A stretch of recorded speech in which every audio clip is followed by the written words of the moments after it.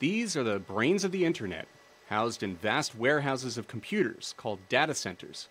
Every click, tap, and swipe runs through a data center somewhere. And you're sitting right now in Northern Virginia. You're right in the center of the largest data center market in the world. Stan Blackwell is head of economic development at Dominion Energy, the region's electric power company. Northern Virginia is home to more data centers than anywhere else in the world. And Blackwell says each data center draws about 30,000 kilowatts of power. So, to put that in perspective, an average residential home is four kilowatts. These power hungry buildings belong to some of the biggest names in tech Facebook, Microsoft, Google. These companies have plans to get all their power from renewable sources. Brian Janous is Microsoft's energy manager. It's important that what we build leaves a positive legacy. Uh, that we don't build it on the back of fossil fuels, but rather we build it on the back of the next generation of energy technology, of wind and hydro and solar. And companies are willing to push hard to get it.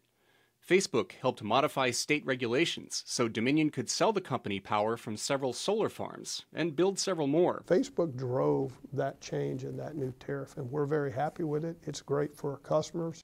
Many companies have been willing to pay a premium for renewable energy. Now, in many cases, they no longer have to, as the cost of wind and solar has plunged in recent years.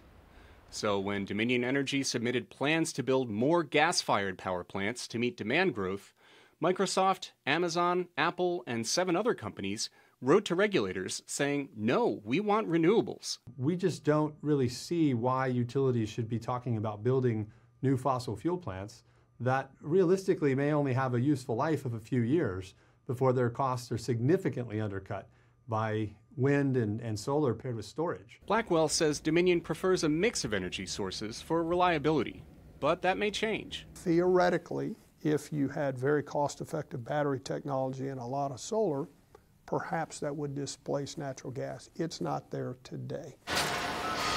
From autos to retail, major companies across the country are demanding that local authorities supply renewables or they'll build their facilities elsewhere.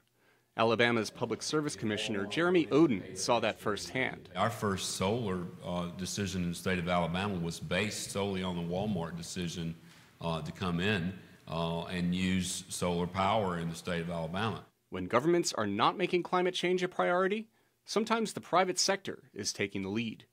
Steve Baragona, VOA News.